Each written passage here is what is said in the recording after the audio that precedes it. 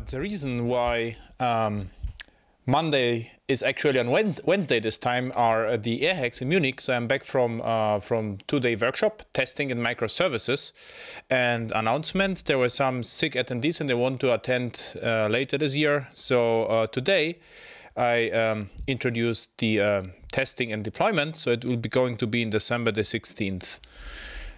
Okay, and um, and uh, during the microservices workshop, I just mentioned briefly that I'm building a new server. And I got um, several emails from the. They, were, they would like to see the part list. So I prepared something. So I introduced um, a new point in our uh, question and answers show. So uh, welcome to the 28th edition of um, TV. So um, we will start with um, Java EE news, um, as always. And so the breaking news is um, the register. This is the uh, website. Um, um, obviously um, interviewed Oracle, and uh, Oracle said that uh, Oracle is committed to Java and Java E, and this is um, also interesting here. There's a spokesman from Oracle, Mike Moeller, said Oracle is committed to Java and has very well defined proposal for the next version of the Java specification, um, Java 8 that will support developers as they seek to build new applications that are designed using microservices, which I'm already doing with Java 7, but in Java 8 seems to be um, even better. Uh, on large uh, sc uh, scale distributed computing and container-based environments on the cloud. And Oracle is working closely with the key partners in the Java community.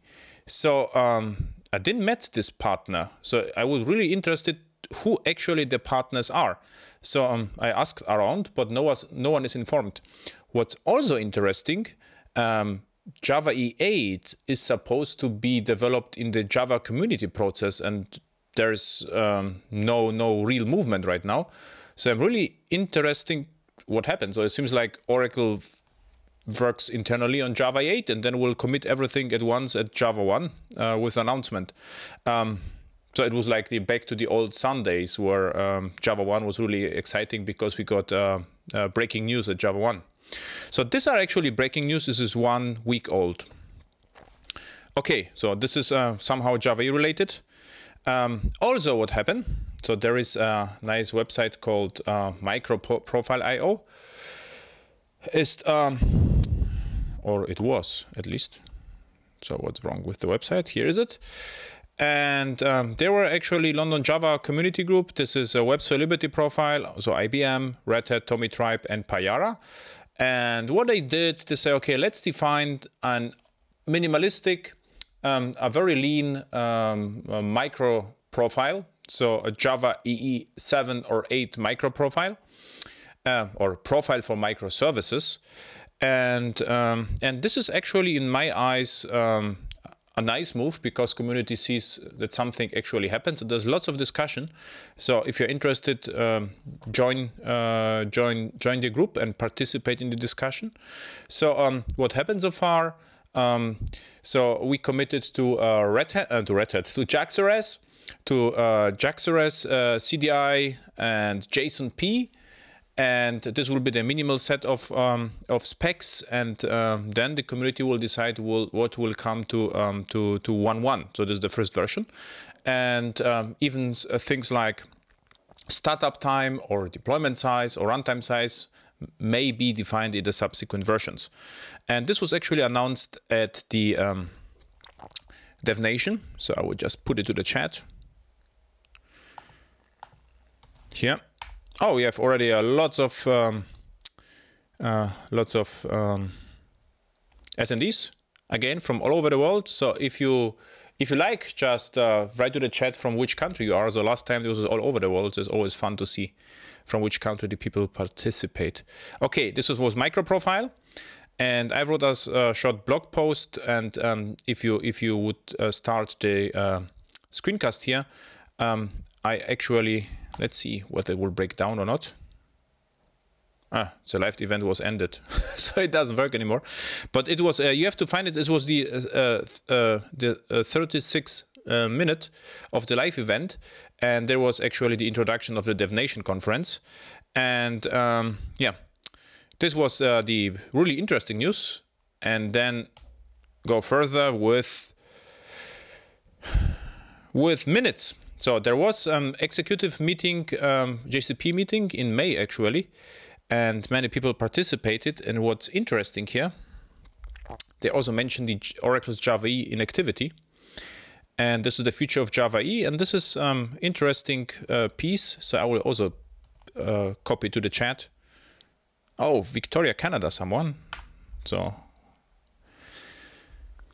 and what um, there's a Martin is a well-known uh, uh, speaker and uh, luminary from the uh, London Java Community Group, and they said, um, okay, we're really concerned about uh, the future of Java E, and the problem which I don't not fully understand is like Oracle has the IP in the JSRs, and therefore it is hard to assign another spec lead. But there is a formal process in JCP to to take over an inactive spec. So it would be actually interesting to try it. So if uh, a spec is inactive and someone would like to improve it, in my eyes, it would be a way more productive to just try to take it over and then uh, uh, uh put the changes, then wait until something happens. But um, but the uh, the conclusion of this meeting was then that they will um, they will contact um, Oracle management and uh, and then discuss what actually should happen in the future. So it seems like uh, the actual IP is the problem, not the um, uh, so int intellectual property, and not actually the inactivity.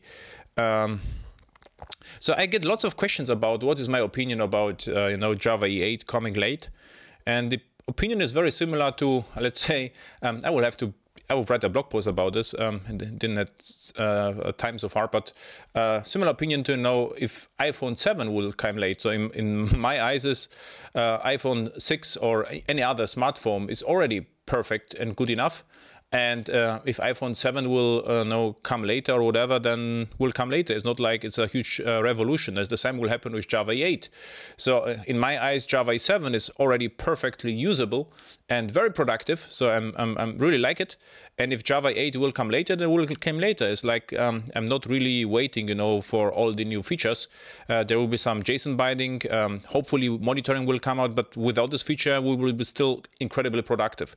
Um, the problem is the, um, the, the, the, marketing or community perspective in my eyes. If nothing happens, uh, new developers might think, okay, Java is dead or whatever, and then we just uh, ignore it. This is the real issue, not that it will actually come late. But I'm really happy, oh, happy, I'm really curious what uh, happens at uh, JavaOne and how the announcement would look like. And um, yeah, whether they just say, look, this is Java 8 without JCP or what is going on. So, yeah, really interesting. So um, at the at the last um, AirHacks, the 27 AirHacks, I got a question about remote and local interface, and I wrote a blog post to uh, to explain why I think remote uh, interfaces have to be considered as deprecated in, in, and uh, and not used anymore. And um, and the what points down is actually whatever we are doing right now, whatever we are creating are wars. So there are no more EARs actually and never as a legacy projects are using EARs but the new project are wars and the endpoint from war is usually rest because it's required anyway for for html5 and uh, and other uh, services so there is um, and uh, remote is based on rmi over IIOP and on serialization so it introduces unnecessary risks and therefore uh, don't use remote. If you don't use remote, you, need, uh, you also don't need uh, local anymore. So uh, forget uh, EJB interfaces, just go with a single class. And um, this is actually the blog post. And I will just put it to the show notes as well.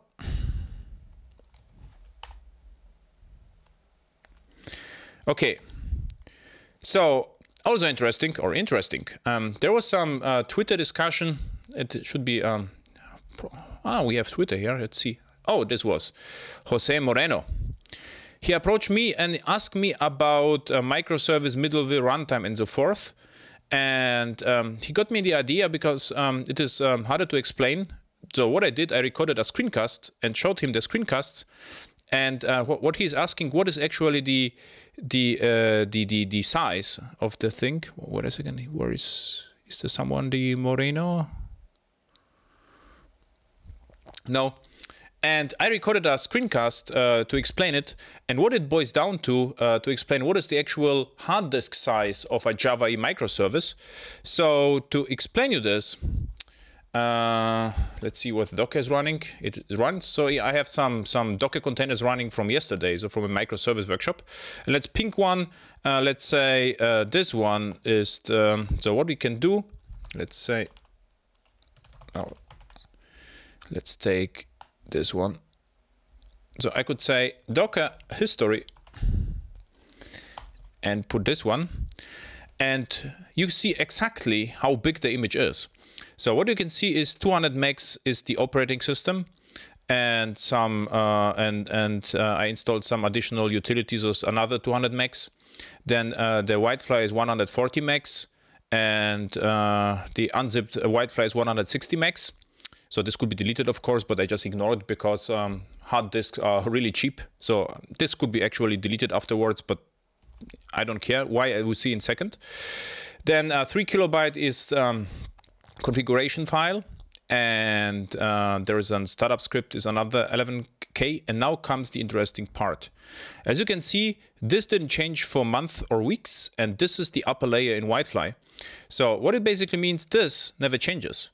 So regardless how big this is, and in this case around uh, uh, 700k minus this one, so just uh, I was just too lazy, no one cares about this. So let's say a 700 megabyte is the as a size of a single um, application server image. But the cool story is it will only remain or only resides once on a single machine. So regardless how many WildFly microservices I will start, this only is um, resides one on the machine, once on the machine. And what actually changes is the war. So there was an, a deployment, a war deployment during the workshop. As you can see, there are 10K. So if I would um, uh, create, you know, 10 or sorry, 100 images a day, there will be 100 um, um, multiplied by 10K would be around one meg uh, image size per day, not to know 100 times 700 MB. So what it actually means is Java EE is a really interesting platform for microservices because it comes with natural separation between uh, between infrastructure and application code. So there are no fat jars or fat wars. It's actually an anti-pattern. So what we do in all my projects, we strictly separate the infrastructure from the business logic. Therefore, wars are, are, are, are tiny and the deployment time uh, deployment times really fast. So um, that's quick hack. So if we go here to Docklands and now build a new image. Uh, so this is the build time of, of this image. So if we just, uh, let's say, So nothing changed. So this this um, image still resides here. But I built a WildFly pink and um, this was the time to create it. I would um, just deactivate the cache. So let's do this. So we could actually deactivate the cache. So you will see, we just copy this without cache and you will see the worst possible no cache. So there is no caching involved, it's still very, very fast. So if I would build, you know, the whole 700 megs, it would be never complete in 100 milliseconds. Okay, this was drama of the week. You know, I got lots of conversation, uh, lots of conversation like, um, is, is Java appropriate because the, the, the image size is so big?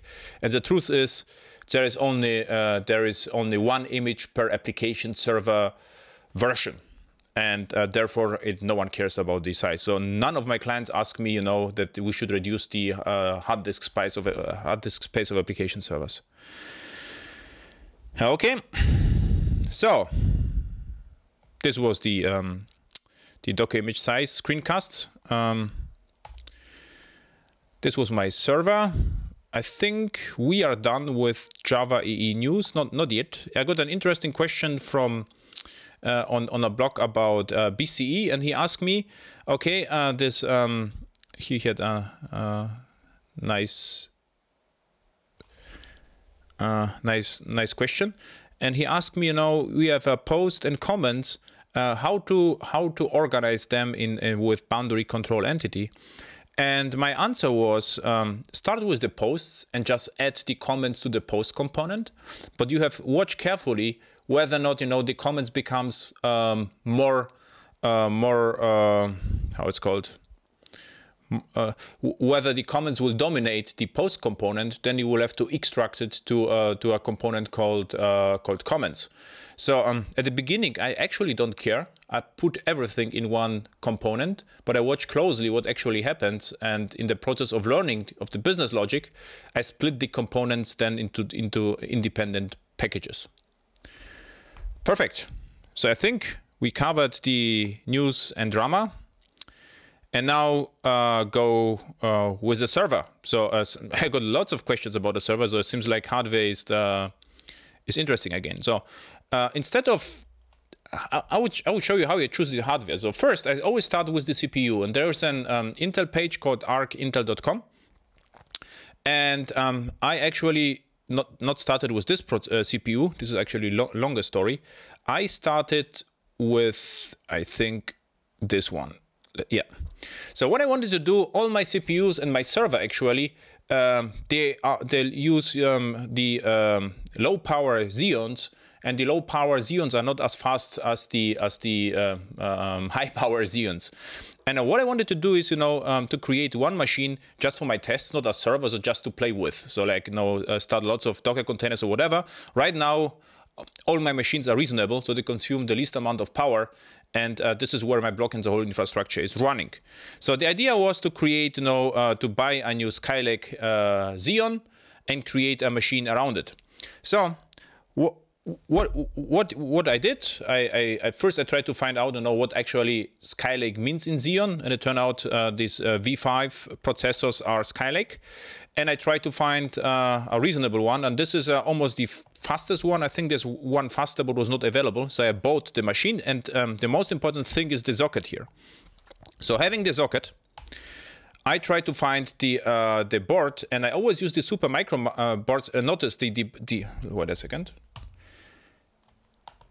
Notice the um, the um, the, the price of the processor was 400, 400 euros. So now we have with the board, and this is pretty expensive one. And this is server board or workstation board for Supermicro. And I always use these boards because they were server grade or workstation grade boards. So um, this board is uh, is um, uh, works with works with uh, Xeons, the current Xeon, Xeons with the socket, and uh, it comes with an interesting thing. It is called PCIe port, uh, which can be used for storage. And therefore, I have two servers right now. Let's uh, show you why. So this was my choice. And then I bought, um, not this, then I bought that. So, okay, this is interesting. So let's buy a really crazy fast SSD. And this is not the regular S8 uh, um, uh, SSD. This is actually the PCIe, crazy fast uh, PCIe card. And what I found out, that this card and the current Xeon and my memory actually consume less memory than my current server. Then I revise the decision, say, okay, so then I need two machines.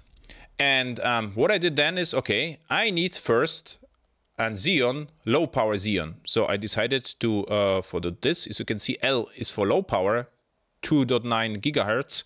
A low power means 45 watts. The other one was twice as much and, and uh, since it runs, you know, 24/7, um, it makes a difference. And as you can see, it is around 300 euros, so it is surprisingly cheap for for a Xeon. In year 2000, I bought, you know, two core Xeon and have to pay two and a half thousand euro, I think. Um, which was you know uh, five times as, as much as, as now. So and then of course I say okay then I new, uh, uh, need a new chassis. So I bought this one which is beautiful, and I always uh, buy the biggest possible tower because there is no problem with the room. And the larger the tower, the easier to maintain. You know, you can build a new new um, new ventilation, and uh, you can play with it. So it's always ATX port and uh, never server because I'm not building a cloud. I uh, I have I think uh, three or four servers, so there's no problem with the towers, and they're really convenient to maintain. So and then the next idea was okay then I need a board with two PCIe cards um, in order to make it RAID compliant. So um, this is the board. It's actually a gamer board. It will arrive tomorrow, 200 euros still. and um, and uh, th there is room for two PCIe cards and I look it up and um, you can run them in RAID for reliability. So the new server is going to be low power Xeon with a gamer board and two PCIe cards and 64 gigabyte of RAM. Um, actually uh, the RAM is Samsung uh, RAM. So if you go, let's say, Supermicro and the board is uh, X11 SAE, I think. Exactly. So what you have to do then, there is a certified memory list, tested memory list, and you get the vendor. And I bought uh, the ECC RAM, which is the which is the uh, most expensive one. I think this one. Yeah, and I bought the Samsung and 64 gig were around 400 euro. So long story short, I think the whole server cost me around 1,500 euros. Um, and um, it will be considerably faster than the current one and it will consume less memory which is incredible because on this machine what I will uh, do with the other one so I will have two servers low power one and, and higher power one and what the machine will do um, I will use it for uh, for performance tests and and just to uh, start microservices Docker Swarm and stuff stuff like this. So this is about the server. So the gigabyte board the SSD and uh, the chassis, which is beautiful. So, and of course, where is it? So, some pictures. So um, what I this is the this is the RAM. This is uh, almost built, and what's interesting here, this is a Noctua um, uh, cooler, and with a huge um, uh, vent and it is very very it, it, worked it worked for years. So not this one but the old one without any issues so this is uh, important to monitor the um, yeah to have a uh, to run it cool. And you see here here's the PCIe card. Um, so this is um, how it looks like. Uh, this is the old chassis. And the problem why I need a new one because I have a larger um, power supply and is no more it is no more uh, compatible with this one. And um, what else? What a second was it all? This one. What? Or for pictures. Yeah, exactly. Looks nice.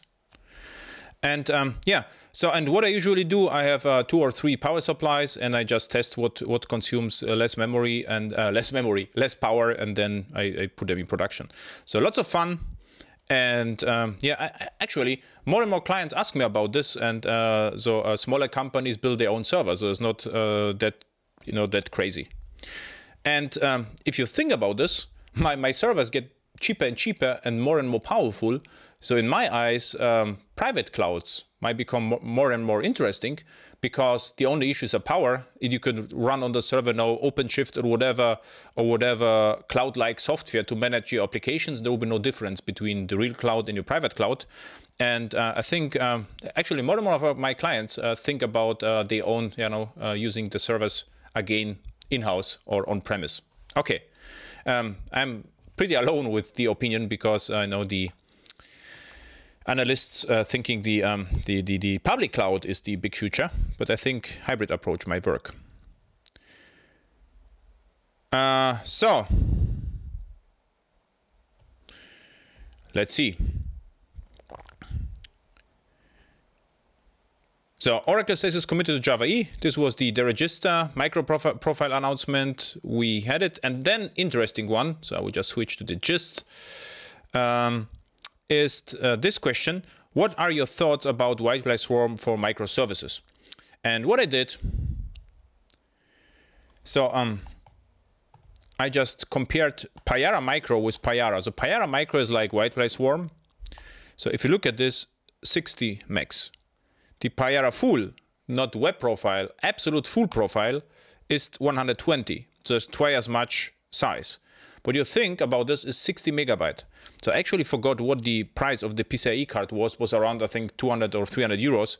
And um, I bought 512 megs, which is actually weight uh, 512 gigs, which is actually not required. But what I will do, I will it, it is called over provision them. So I will just format 25 6 gigs um, for, for longer reliability. But even in this case, I think um, my current server has 127 gigs or 256 gigs available. And um, because of Docker, I just uh, I think I have the the the the, disk is almost uh, almost empty. So I really none of my clients and also not me we don't have a problem where we need a more hard disk space. And if you think about this, the Payara Micro or WildFly Swarm uh, are designed this way that you package your application server with the app. So what this would mean is, you know, um, the the upper layer would be the biggest, and all other layers would be tiny, tiny or even not existing in, in the worst possible case.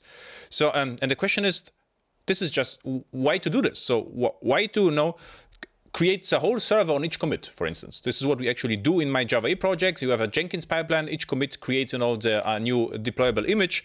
Now, if I would use fat jars or fat wars, the um, the, the images would be would be huge. And and and if, if my clients would ask me why you are doing this there would be actually no answer.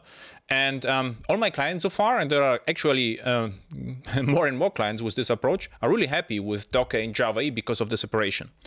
Another issue with uh, WildFly with WildFly not with uh, with WildFly swarm uh, WildFly swarm is the following. So they have a generator which is uh, interesting. What this basically means is you can pick and choose your dependencies, but then your server or your runtime becomes a unique snowflake. So um, I think a huge advantage of full profile Java E is, um, you know, all application servers are very similar. Even Glassfish is similar to WildFly because they share Weld and um, bean validation, for instance.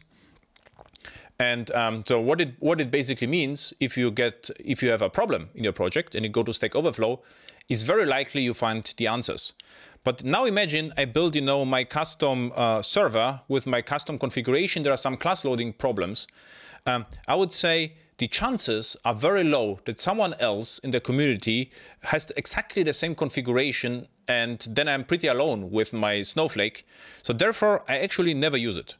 And but what I have to say is all my projects are enterprise projects. If I would build a cloud or uh, I would be a Facebook, Twitter, or whatever, Netflix, then I will probably revise my decision because then, you know, I, I could cre create my unique um, microservice, save a few megabytes or, um, yeah, a couple of big megabytes. Um, and then if I run my microservice, what uh, um, uh, what what will happen then? Uh, then I could run it uh, several hundred times, actually several thousand times in in the case of Netflix, and then it's a considerable amount of RAM which can be saved and money to be saved. So usually my project we have 10 to 20 uh, processes, or if you would like um, microservices. So whether we save, you know. 200 megs or not, no one cares about this. You, you saw how cheap actually the hardware is. Okay, I think we covered the first question.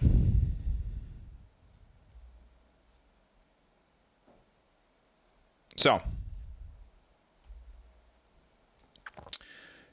I got a question from Anonymous, and he allowed me to to uh, to um, to mention this without mentioning the name. So Java E status. Um, he said during my studies, I utilized Java E 6 for cre creating distributed systems to monitor IT infrastructure. So and then consent expressed information of Java that you are part of. And what I wanted to say, I'm not a part of Java Guardians, and the reason for this is not because I don't like them. I have absolutely no time to participate. And I actually told Reza, uh, uh, I'm really sorry, I won't participate in your mailing list because it will kill me. So if I get uh, more emails, so the whole story of Airhacks TV is that I don't answer the technical emails anymore. But if I would uh, get uh, Guardians emails instead, and you know, there's, I have no interest to create a Guardians TV. so um, I, am not participated here. Uh, what what I watch closely is the technical Java uh, side, but but not the Guardians. But I think that they do uh, they do a great work, and um, I like Reza and, and all the participants. So I'm just uh, watching them and try to help them whenever possible. Um, so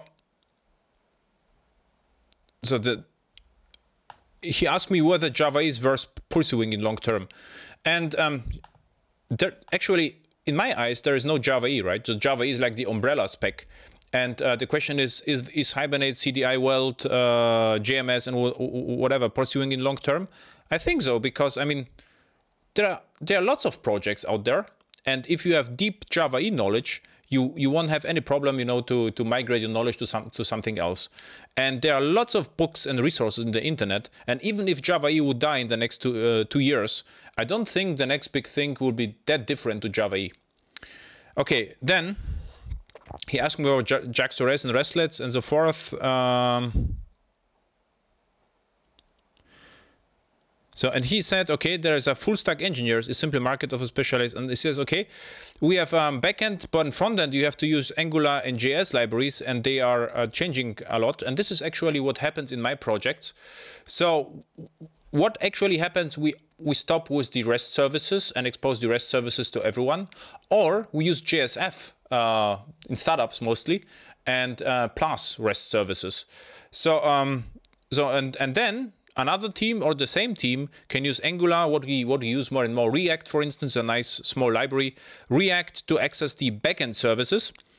And uh, this is like it is. And uh, for, for the native development, uh, we use Electron, JavaFX, um, stuff like this. Um, so, and this is actually, this the last sentence is, uh, last sentence is important. So actually the backend is absolutely reusable. Okay. Java and JavaScript. Uh, in my project, I always use statically typed languages. Um, yeah, and um, what is uh, what is my advice to JavaScript? So actually, um, I use JavaScript in parallel with Java in the beginning. So, but at the beginning of I don't know 1995, 1996, um, you should keep secret that you have uh, JavaScript knowledge because it was considered like a toy language or um, even worse than Visual Basic. And um, and what's my opinion? I have to say I actually like it. So I like the ECMAScript 5. I actually even performed some workshops at Munich Airport about JavaScript last year and this year. And why I like that? Because it was so different. So it was completely different and therefore it was interesting. And ECMAScript 6, uh, 6 is 6. ECMAScript 6 is uh, very like Java. So it reminds really in Java and, and you can write programs with it, of course. And um, I I have to say I enjoyed JavaScript. Of course, it's not type safe, but you can do uh, uh, this is actually because not type safe. You approach it differently, and you have different set of uh, best practices. And with uh, TypeScript and um, with minimal effort, you get um, pretty good code completion with uh, Visual Studio Safe from Microsoft, for instance. And um, yeah, so I would say learn JavaScript, and with JavaScript and Java um, I would say you have, let's say, how was programming language index? I forgot actually the name of the TIOBE. Wow. Java is number one. I will, yeah, you will see tomorrow a blog about this. Java is number one and JavaScript is number seven. So I would I, thought JavaScript is number two. But still, with Java and JavaScript, you are well set. I, I would not learn PHP because it comes prior to JavaScript. So I would say learn JavaScript in Java and, and you are well set. And um, yeah. Then Golang. So Go language, I like it. What's also interesting is um, is Swift from Apple. it can also be used on on um, on server side. And someone asked me uh, during the AirHacks, what is my opinion about Swift on the server? And back then it was not um, supported on the server, but I have to say Swift becomes more and more interesting because there is a huge company, Apple, behind and lots of developers. So it is as interesting as Golang to me. So and there was also an email, internal email, so internal, someone uh, wrote email about my opinion fork join in Java 8. They are right now not compatible, but if you use, for instance, completable future, so uh, watch the microservices workshop for me, so I, I, do it actually. So what I do, I use completable future with managed executor service, not with the fork join. But if you use parallel streams, they are currently using the uh, fork join framework, which is not Java E8 compatible. So right now, uh, if you are using uh, parallel streams, you should be careful in a Java E environment. Okay. So we covered a couple of questions. And uh, now see, let's cover some Twitter questions. So about monitoring, uh, someone asked me, uh, no, someone, this is uh, Costa. Is it possible to use to is it possible is it possible to use WildFly in the same way you use glassfish lightfish? If not can you talk about this? I can talk about this. It's absolutely possible. And actually uh, someone from red hat wanted to port uh, lightfish to to red hat so it would be absolutely possible. And i just lost my browser. Here is it. And um, there is an actually a project Hawkular Hawkular WildFly and the uh, Hawkular project is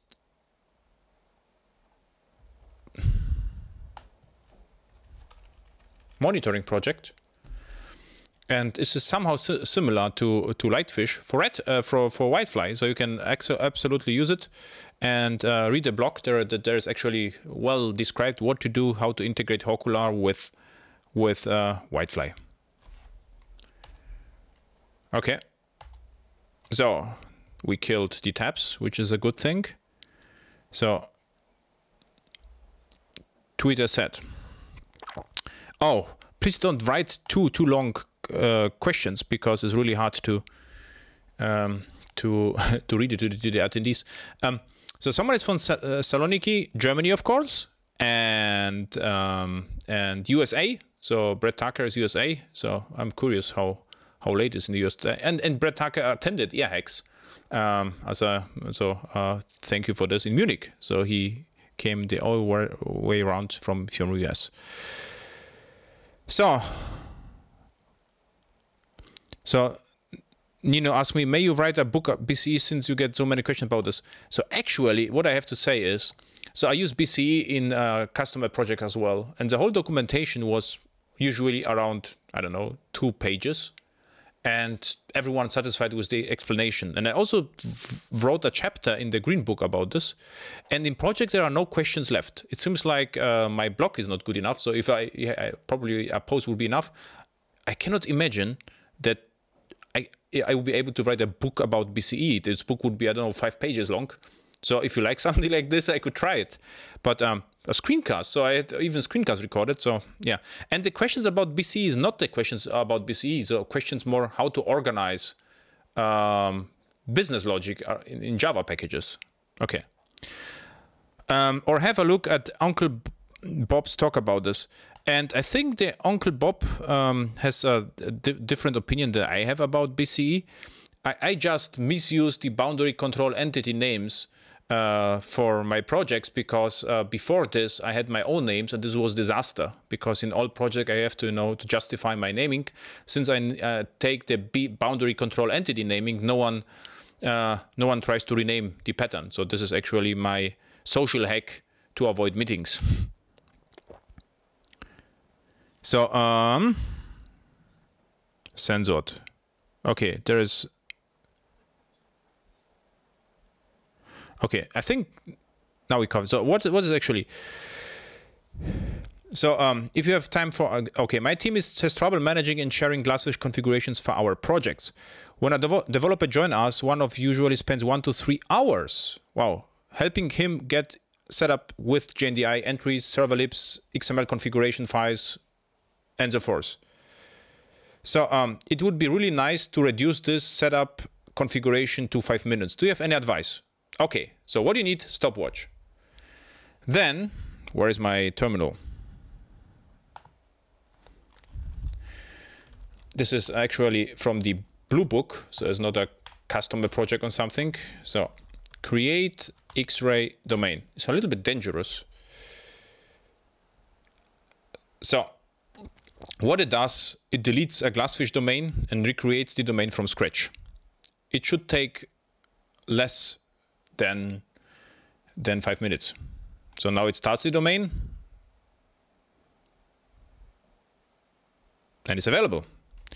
So five minutes is way too long. So I would never accept five minutes. So it was 538, 5380, and it's fully configured Payara or Glassfish domain. So uh, what I used here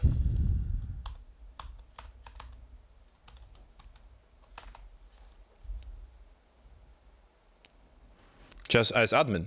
As you can see, I just deleted domain, created domain, started the domain, created some JVM options, connection pools, and JDBC resource. So for each resource is one liner. So this is the first thing you can do. In real world right now, I do something else So um, I'm using uh, Docker and each project gets an own, for instance, here Payara configured and Docker image. And here you have the AS admin uh, uh, commandos. And what happens then, uh, this runs once, then I get a pre-configured server and there is nothing to do.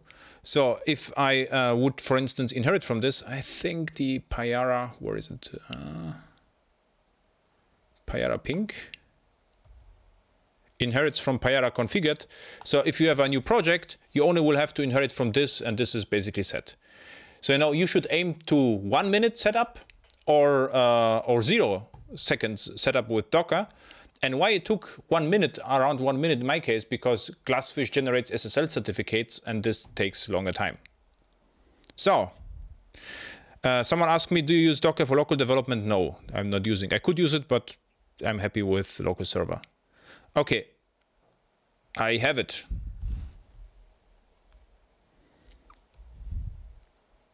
Okay, now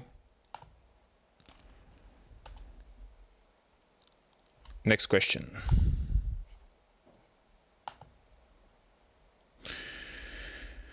How to control the life cycle of stateless EJBs? So, impossible.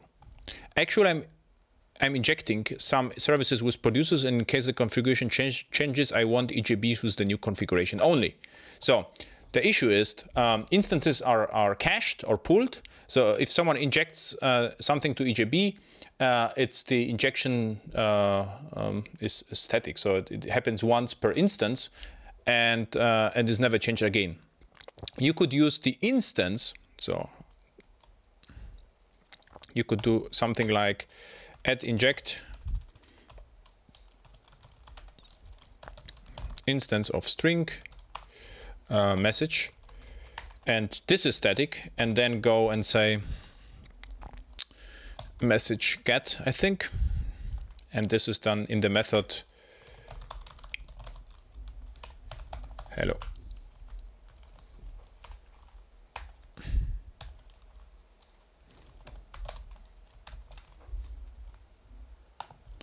Something like this. The issue is you might end up uh, uh, getting memory leaks because the uh, because because each fetched message will remain in the in the scope of the instance. So what is better with EJBs if you would just inject the configurator and ask, and this is your class, and the configurator then is able to return to return the instance. The configurator could be application scope, request scope, or, or, or, or, whatever. And this is like a proxy, which then will fetch from the database whatever you like. Okay. And this is a nice one. So the question is, uh, there's an application. So uh, the uh, Musa um, says I'm implementing an e-commerce application with Java 7, Glassfish 7, and so forth, and the problem was you expired. And the question is how to deal with that.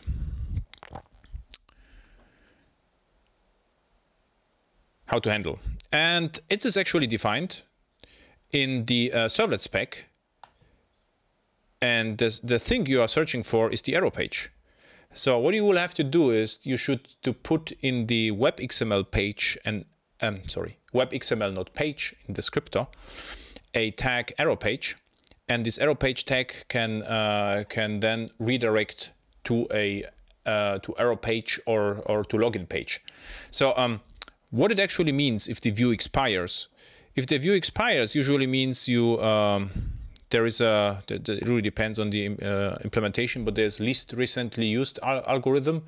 So uh, or either the session expires or uh, there is no more room for the for all the states of the JSF, so it could expire. So this is if you push, you know, back and forth, uh, uh, back and forward buttons, and this is actually configurable in uh, Mojarra. There's this a parameter where you can configure how many pages are saved.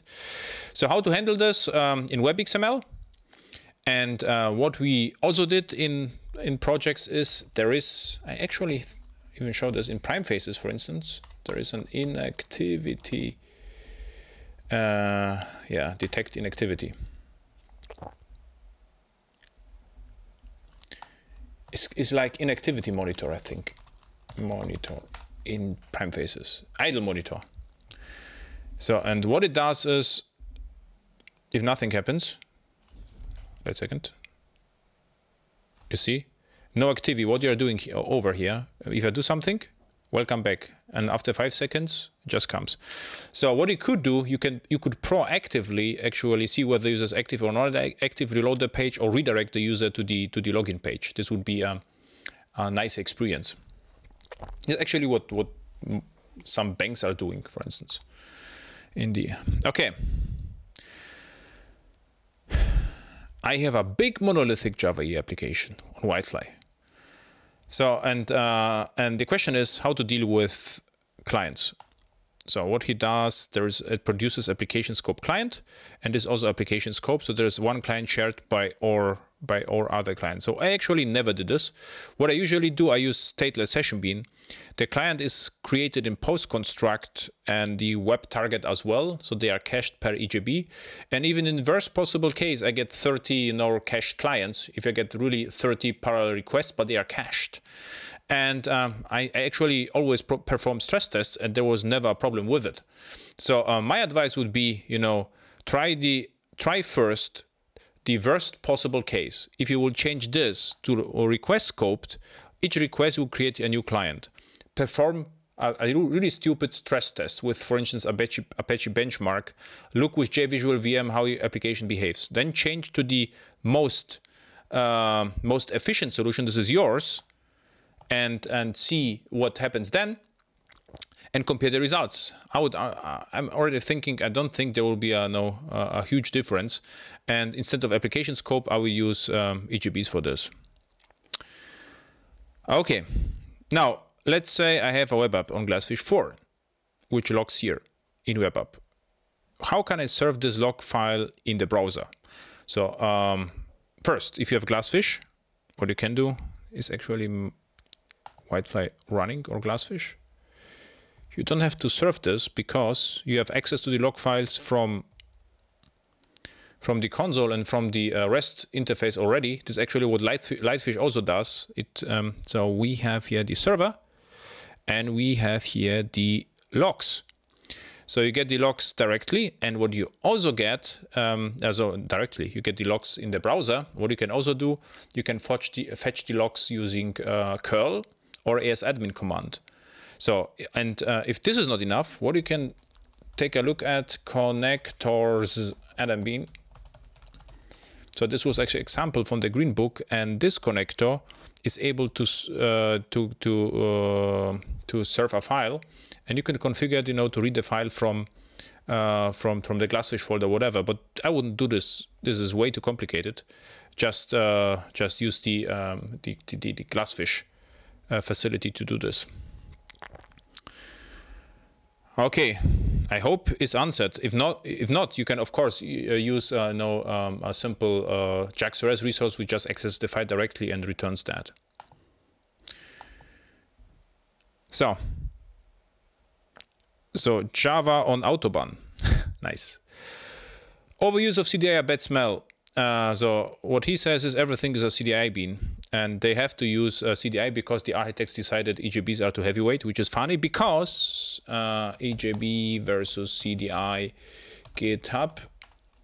What actually happened, um, Monsieur Samolisov watched my screencast about um, is this effective Java no screencast in the workshop effective Java um, this is airhacks.io workshop and what he uh, and what I did, I compared the performance with EJB and CDI, and turned out, of course, EJBs are faster because of pooling. And what he did, it compared uh, Spring with EJB and CDI, and it turned out the EJBs are the fastest technology so far, which is which is funny because I know project which migrated away from EJB to be more efficient.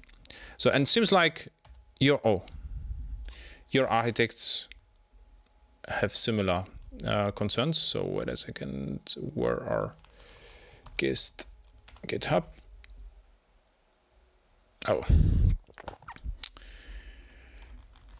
gist GitHub. Adam Bien, I think. Adam Bien just lost.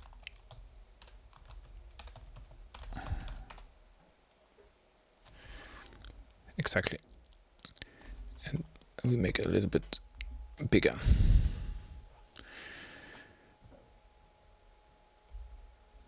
And this is this one. Okay. So, and, um, and is it overused? Uh, yes. So what I usually do, but this is just my way of, um, of, of, of implementing the stuff. Um, in BCE, I have one EJB with stateless annotation and anything else doesn't do not have any annotations. No EJBs, no CDI, nothing. So uh, everything is depending dependent scope and it works fine. So um, what it basically means, so if you would get to go to, let's say, I'm not log in, Adam Bien headlands. So for instance, this is one of my projects.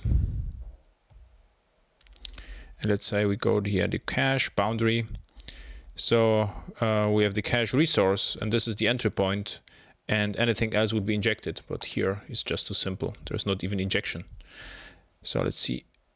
Uh, probably Lightfish itself. So someone asked me about uh, Lightfish. This is the Lightfish backend.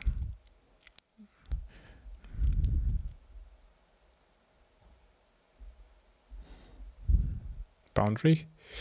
And um, we have applications resource with injecting application monitoring. So we go to application monitoring, and this is an EJB, which is uh, which just comes with that. And then I inject EJB statistics collector, and this is uh, uh, EJB statistic collector is probably uh, a control. and this is nothing. So there's not even EJB, no CDI, nothing. So um, this is the typical architecture and in open source and actually all other projects like boundary is the entry point and everything else is um, are just POJOs. In fact, the POJOs are actually CDI managed beans, but I don't need annotations for this. And we use the scope annotations, you know, request scope, application scopes, whatever.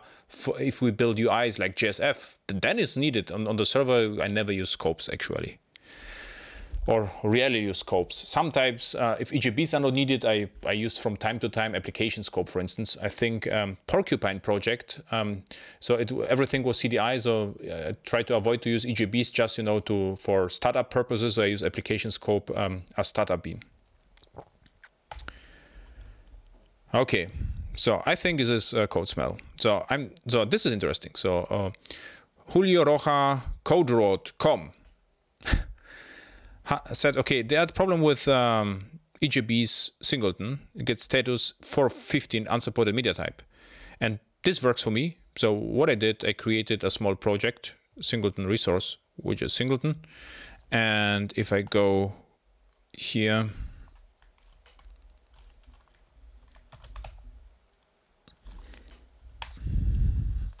and just go to the singleton, I got it works.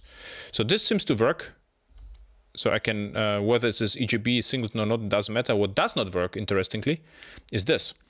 So if this sub resource returns a list, even if I wrap it with generic list, a generic entity, I still get the error. So, and this is actually interesting. And the error is the message body writer not found for media type and so forth. So what I would do, I will report the error to Payara. So uh, seems like a bug. Uh, I'm using a lot of sub resources. I didn't bump to the, the error because I tried. So I, I rarely use this because I have to admit in, in recent projects we fully rely on JSON arrays and JSON objects. So um, there was I didn't use it for a long time. So such something like this. And yeah, so you will have to check it. Uh, it will be interesting if this is a list of uh, objects, you will still get the error. And um, yeah, go to Payara at GitHub and please report the issue and uh, yeah, uh, they are very active. So um, if you if yeah, if you go to the uh, Payara guys on GitHub, you you will see they they, they never sleep. They commit uh, day and night, so they work all around the clock. Seems like. Okay, so this question covered. And there was some. Uh, oh, there's also uh, alumni from from Airhacks, and he participated a session in Java user group Nuremberg, and um, I I mentioned something about logging, and he says, okay, um, if if a request goes through five different microservices, how I implement logging in that case. So, and uh, what you could do, of course, if you have a uh, header, cookie, JWT token or whatever, you can use it as a flow ID. And each microservice could use, for instance, Logstash or, or, or just log directly to Cassandra or a NoSQL database or SQL database. And then you get, you know, the your flow. And uh, yeah, but I have to say, it is unusual. I cannot remember whether we ever invoke five microservices in a row usually there are just you know two microservices, but never five. So this is what we did so far. And centralized logging service is always a good idea. Why? Because in microservices, I always use Docker. If you would log to a Docker image and you will remove, remove the Docker image, the, the log files will disappear. And um, with Logstash comes comes with nice tools like Kibana, so you get really nice view with that.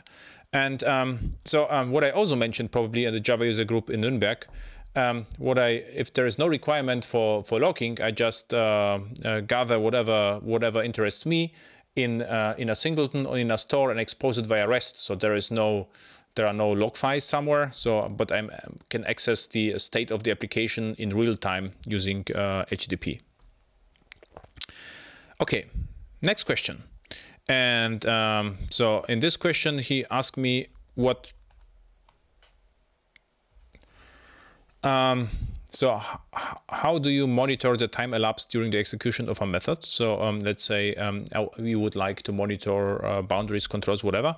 You could use the Java Simon or JavaMon um, or or what you will do. So actually what I did recently, I implemented for a client a uh, interceptor which uh, gathers the, uh, the, the monitoring data and sends via CDI event to a singleton, which gathers the data and exposes. I even, I think, implemented something like this in the um, effective Java E online workshop.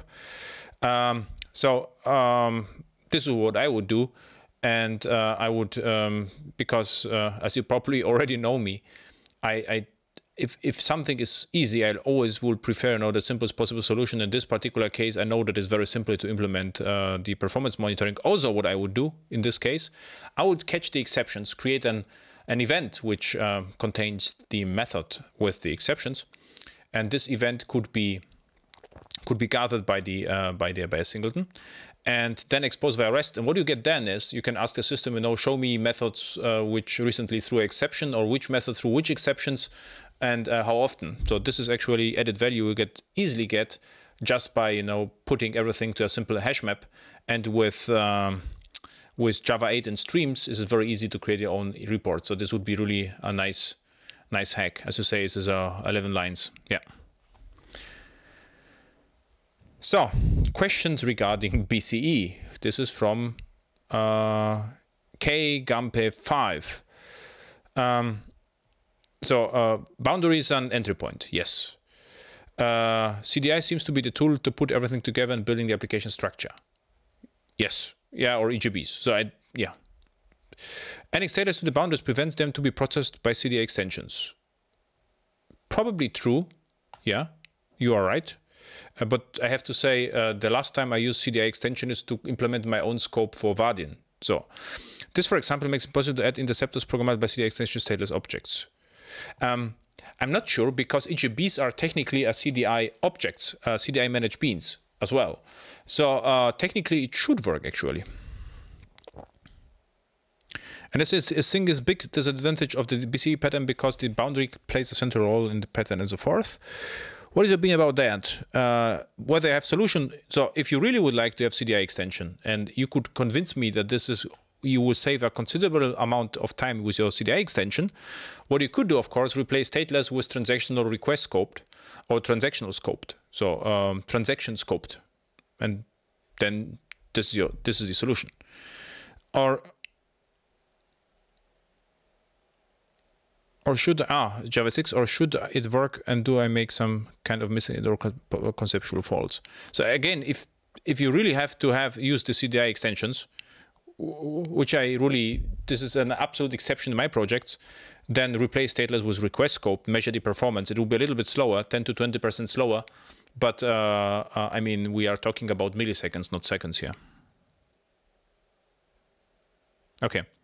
And by the way, I implemented something like this in, um, oh, uh, who needs aspects, I think. Who needs aspects? Java Magazine article. Java Magazine. Oh. So I put in the show notes. In this article, I implemented CDI extension, which re, uh, which um, reacted to naming conventions.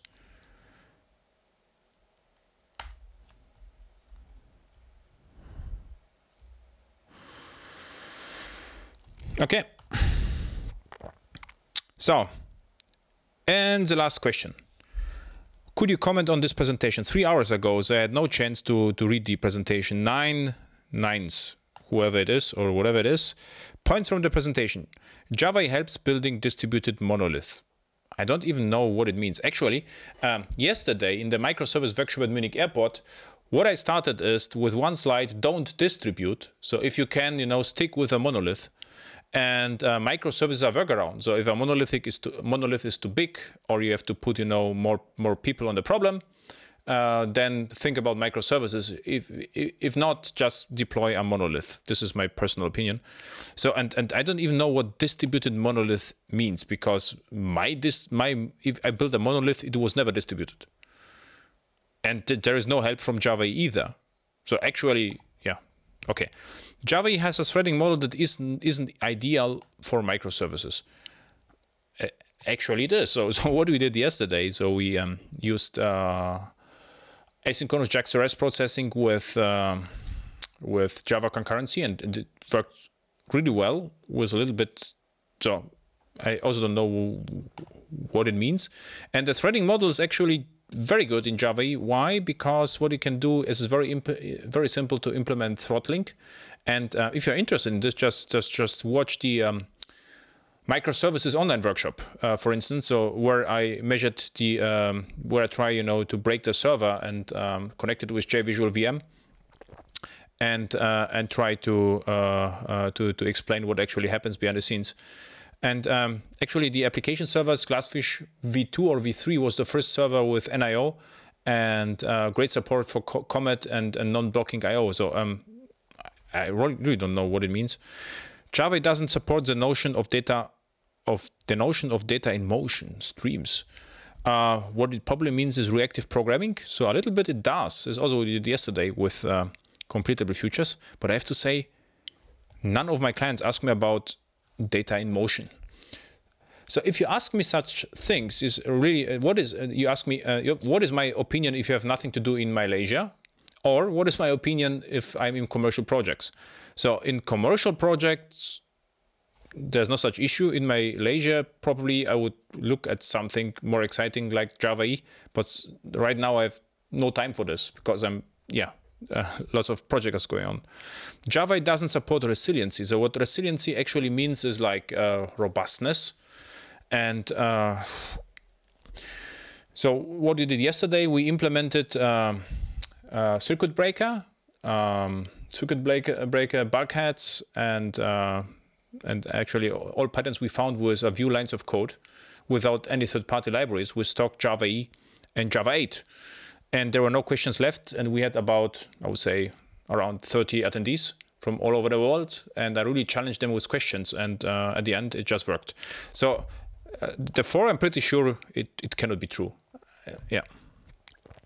Java is implemented as containers.